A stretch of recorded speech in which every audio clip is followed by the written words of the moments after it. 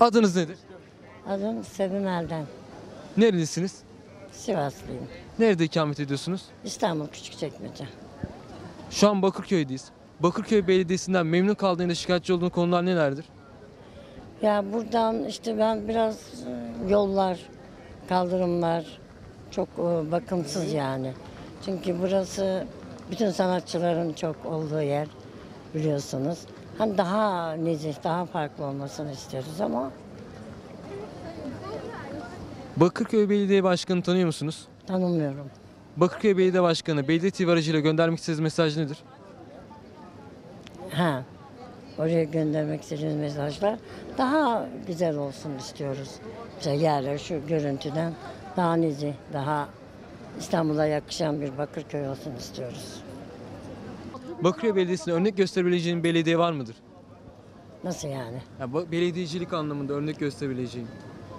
Ha, belediyecilik anlamında. Şimdi biliyorsunuz e, Beylikdüzü'ndeki e, İmamoğlu değil mi? Oradan çok herkes memnun. Benim akrabam da var.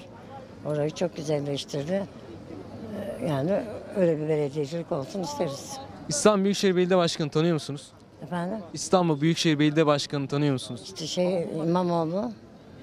İstanbul Büyükşehir Belediyesi'nden beklentiniz nelerdir? Valla biraz e, temizlik yani en çok biliyorsunuz temizlik istiyoruz. Bir de biz, biz yaşlılar için e, benim mesela şizofren oğlum var rahatsız. Beyin de şimdi yatalak oldu. Oğlumun maaşını kestiler. Ben 77 yaşında bir kadınım. Bak görüyorsunuz koşturuyorum.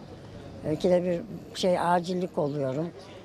Tabii ki daha bizlere eğilmesinin ve Avrupa gibi, yurt dışı gibi çocuklarımızı alıp rehabilitasyona götürüp onlara spor falan. E, Mesela bize bir e, Avrupa'da öyle alıp beni götürecek 15-20 gün bir moral şeysi. Yok ben bunalıma giriyorum.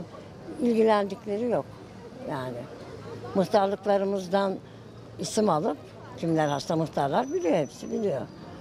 Ona göre bize farklı davranılmasını istiyorum ben. Teşekkür ederim.